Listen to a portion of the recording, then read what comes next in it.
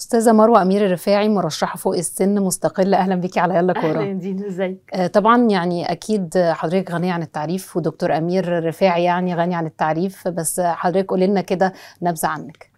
آه، أنا مروة أمير الرفاعي آه، مرشحة نفسي في انتخابات نادي الزمالك فوق السن ورقمي 31 آه، أنا ابنة أمير الرفاعي أبرز قامات نادي الزمالك. الله يرحمه. أما عني أنا شخصيا يعني فأنا بشتغل في الحضانات وعندي مدارس وحضانات بقالي حوالي 16 سنة. آه، وعندي كمان مجموعة أنشطة اجتماعية في عدة أماكن أنا بنتمي إليها وحاجات تطوعية. زي مثلا نقدر نقول بنك ناصر الاجتماعي أنا بعمل لهم نوع من أنواع الدعم البرنامج هم بيتولوه اسمه حضانتي. آه، وأنا بعمل ده تطوعي آه، بدون أن أتقاضى عنه يعني آه، راتب أو أجر. آه، دي مبادرة عاملها البنك عشان يدعم الحضانات اللي لسه بتتأسس جديدة ومحتاجة آه، تمويل آه. من البنوك.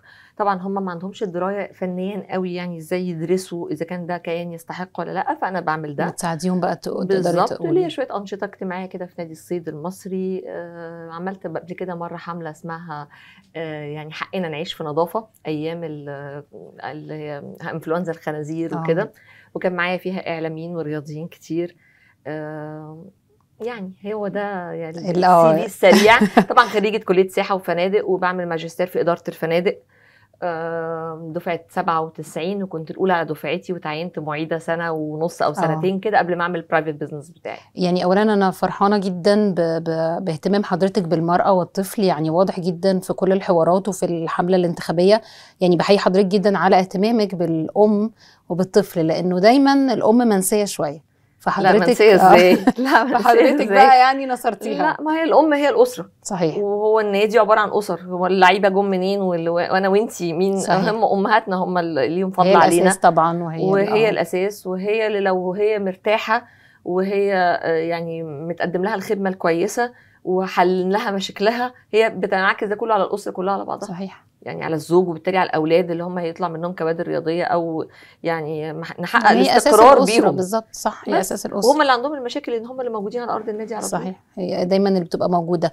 يعني أبرز الملفات هتبقى ال- الأم والطفل؟ لا هو الملف الاجتماعي في العموم. كله. لو خدتي بالك من السي في بتاعتي هي شارحة نفسها. آه. يعني إدارة فنادق وماجستير في إدارة الفنادق أو يعني فأيوة، ب- بجهز فهناخد- له آه. دلوقتي. فأنا كل ما يخص الأغذية والمشروبات والمطاعم وال, وال, وال إزاي تحويل الحاجات اللي عندنا اللي نقدر إن إحنا نستفيد منها آه، سياحيا وفندقيا إن إحنا نقدر نعملها. ده هيريح الام برضه آه، ده هيريح الأسرة في, العموم. فيعني آه، عندك المصيف بتاع مرسى مطروح بمشاكله. استحداث مصا- مصايف تانية في أماكن تانية وده مطلب جماهيري آه. يعني فظيع.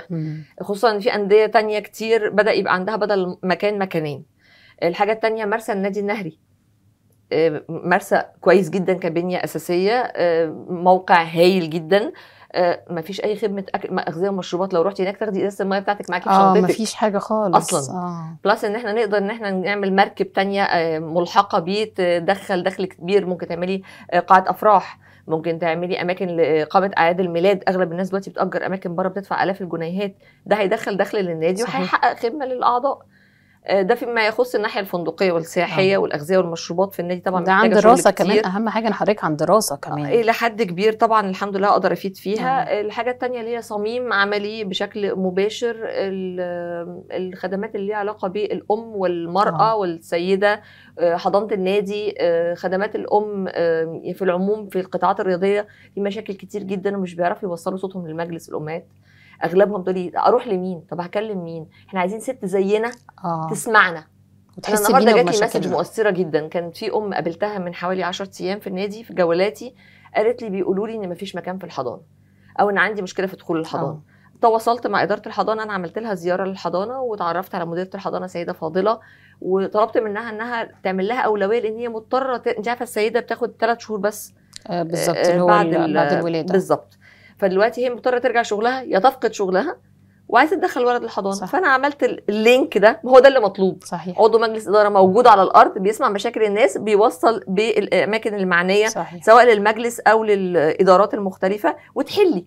المطلوب إن هو تحلي عشان. يجوا يبقوا سعداء. ما انت إحنا يعني عاملين ليه مجلس إدارة؟ صح. لخدمة الأعضاء. فأنا حققت لها الهدف ده. من يوميها كل يومين ثلاثة تبعت لي. أنا حتى مش حافظة اسمها. أشكرك وأنا بدعمك وأنا وراكي. أنا مبسوطة لأنك متواضعة وبتنزلي وبتسمعينا. هو على فكرة هو ده الطبيعي. آه. يعني استغربت من فكرة انت متواضعة وبتنزلي. أمال أنا المفروض أعمل إيه؟ من كتر ما هو مش موجود فبالنسبة لهم ده مش بقى فاهمة. آه. يعني المفروض أعمل إيه؟ يعني أنا هترشح عشان آخد المنصب وأقعد على الكرسي أحضر جلسات مجلس وخلاص، إدارة وأطلع آه. في التلفزيون؟ أكيد لأ. مم. فدي جزئية. الجزئية الثانية إن الرواد اللي هم كبار السن مش معمول لهم حاجات خالص في النادي. مفيش أي اهتمام بيهم. خالص. ما فيش لا اهتمام ولا في خصومات. ولا في أي دعم آه، طبي ولا دعم آه، صحي ولا رياضي. في في ناس كتير جدا عندهم مشاكل في مفاصل الركب في الرجلين في الكذا دول عايزين علاج مائي عايزين آه، رياضات خفيفة عايزين وقت معين في الجيم يبقى مخصص ليهم هم مخصوص. عايزين جنينة هادية رايقة فيها soft music ما يخشهاش ولاد بالباتيناج يعملوا صوت ودوشة. عايزين ليهم مكانهم.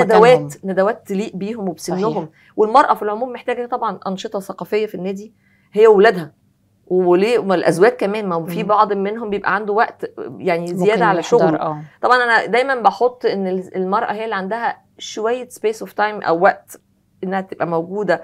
في النادي مع ولادها أثناء التمارين فتقدر إنها تلتحق بالحاجات دي. والرجالة غالبا بيبقوا مطحونين الحقيقة بيبقوا في شغلهم. مفيش وقت للكلام ده. بالظبط. بس ليه لأ؟ ليه ما فيش دكتور كبير يجي يعمل ندوة توعية عن حاجة؟ ليه ما فيش آه، مسلسل آه، آه، يكون كسر الدنيا نعمل ندوة ونجيب الفنانين اللي كانوا في المسلسل ده ونناقش ده؟ دي حاجات مجانية. ما مش هتكلف النادي حاجة هتملأ آه، فراغ كتير جدا عند الأسر وتزود الوعي بأمور كتير هتفتح مجالات كتير للنقاش. طبعا لو في ورش تمثيل وورش ثقافة ثقافية في آه. النادي ده هيطلع لنا كوادر صحيح. طبعا آه، كويسة. plus إن هو هيوجه الولاد دي بدل ما هم ما بيعملوش حاجة أو مقضيين وقتهم في الكافيهات ومتسربين من دخول النادي أو وجود النادي في النادي بالظبط. لأن مش كل الناس رياضية. آه صح. يعني أنا مثلا أم عندي ابن آه، كان رياضي جدا و goalkeeper وبيلعب ومهتم بالرياضة وبنت كل ميولها أدبي وفني فكده يبقى يعني لازم يبقى ليها مكان في بيت النادي واحد وأم واحدة صح. وأسرة واحدة وثقافة واحدة وتوعية واحدة بس خلاص دي ميول ده صوابعك واحد مش زي إيه. بعضها صح بس ويبقى ليها مكان في النادي يعني تروحي النادي مش تتوجه صح الورش آه. بره غالية جدا مم. وياما ناس طلعت من من ورش آه، معمولة في مراكز ثقافية في مركز شباب كذا كل القامات دي كلها طلعت من كده. بس فنديهم فرصهم. وبعدين في أبناء نادي كتير جدا شخصيات آه، إعلامية كبيرة شخصيات فنية عندهم شركات إنتاج كبيرة آه، كل دول ممكن يتبنوا. يعني يتبنوا الكوادر دي آه. أو المواهب دي ويكبروها ويعني يعظموا من دورها. فأديت لهم فرصتهم آه، بسهولة شديدة لمجرد انه عضو نادي الزمالك فأنا قدمت له آه. الخدمة دي. يعني حضرتك وحضرتك بتتكلمي يعني دايما كنت مثلا متوقعة هتقولوا هتقولي لي مثلا هعمل الجنينه هعمل كذا. لكن حضرتك بتقولي لي هزود في الثقافة هنتناقش ثقافيا هنتكلم على مسلسل ممكن نعمل ندوة لكتاب معين. يعني الفكر ده مختلف وأعتقد ما كانش موجود. لا هو ما كانش موجود. واللي بتتكلمي عنه برضه مش موجود. مم. يعني برضو الكراسي والترابيزات بس أنا الكراسي والترابيزات دي أي حد زملكاوي متحمس سواء عضو مجلس يحلها. إدارة أو رجل أعمال بره مجلس الإدارة أو رجل أعمال بره جوه مجلس الإدارة هيقدر يعملها. دي مش محتاجة فن قوي أو مش محتاجة ابتكار قوي. دي آه، آه، خدمات وبنية تحتية آه، متدهورة لسبب أو لآخر نتيجة وضع الاقتصادي بتاع النادي. فدي أي حد هيبقى عنده أو أي نشاط أو أي حاجة هتجيب فلوس هتعمليها. فدي مش محتاجة دماغ قوي محتاجة، يعني. آه. لكن هتحصل ولازم تحصل لكن الناحية ال- الثقافية دي يعني وحضرتك بتتكلمي أنا برسم الصورة كده حاسة الأمور هتبقى مختلفة والأعضاء نفسهم بدل مثلا ما يبقى ممكن في شد وجذب مع بعض عشان الكراسي مكسرة علشان ال- الأرض فيها مثلا مش مستوية أو كده لا إحنا بنتكلم بقى في في, في ليفل تاني خالص لا انت بتعملي رسالة ثقافية؟ بالظبط. بتعملي آه، جيل آه، عنده وعي وجيل يطلع لك يعني مواهب وكوادر وناس هتبقى يعني ثقي إن أكيد لو ده اتعمل واتفعل صح. عندنا مسرح حلو قوي في وزارة الشباب والرياضة قدام آه. النادي. أنا أنا بنفسي شفته كنت هعمل عليه حفلات لحضاناتي ومدارسي قبل كده. حلو. ما إحنا ممكن نعمل طبعا اتفاقية مع مجلس أعلى للشباب والرياضة ونعمل فرقة مسرح جوه النادي وتكسر الدنيا. وتعملي عروضك هناك وتاخدي خصومات لأن انت طبعا مؤسسة رياضية. بالظبط. آه، تطلعي فريق مح... انت انت بتعملي رسالة على بدل فكرة رياضة، بنقول ده رسالة. آه صح يبقى أطلع- يبقى بالتوازي صح. الأمور الاجتماعية والفنية والثقافية مع الرياضة.